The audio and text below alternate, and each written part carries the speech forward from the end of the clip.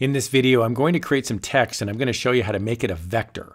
So I'm inside of Inkscape. On the left-hand side, I'm going to click on this little A button. This is my text tool. I'm going to make a nice big window and I'm going to type in the word text. Now, if you'd like to change the font for this text, you'll go up here to the top. I've got it set to veneer and then I can see all my different fonts that I have. I'm going to change it, for example, to Arial Rounded Bold. You can then simply select it and then you can make it larger. You can stretch it out. And if you'd like to keep the aspect ratio, you'll want to hold down the control key and that makes it nice and big without stretching the text. Okay, so now the question is how do we make this text into a vector? When I click on the edit paths by node option, nothing is coming up here. I don't have any nodes inside this text, so I can't change it like I would a vector. I can't modify it. So it's pretty easy to make this into a vector. You're gonna go up here to path, and then you're gonna select object to path. A vector is a path. And now, when I click on edit paths by node,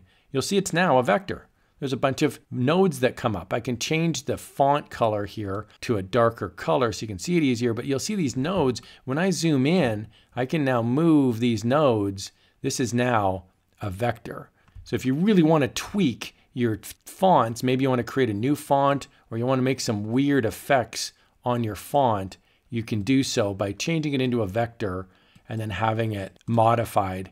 I do want to point out, once you change it to a vector, it's no longer text. So if I click on the text tool and I hover over this, it's not going to recognize this. It's become an image at this point. So now when I'm typing more text, it's not picking up the current text that I've already changed into a vector. I hope you found this quick walkthrough helpful. I love using Inkscape. It's free. I have lots of videos on my channel like this one.